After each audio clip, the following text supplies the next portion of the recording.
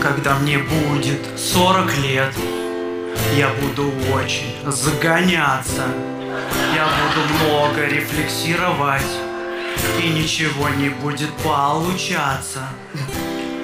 Когда мне будет 40 лет Я перестану кушать макароны Куплю себе кабриолет И буду бегать марафоны Когда мне будет 40 лет. Я брошу пить и вставлю зубы. Начну читать Новый Завет. Канал заведу себе на Ютубе. Когда мне будет 40 лет мне будет страшно, что будет дальше. Ну а пока мне 30 лет Я просто помогаю старшим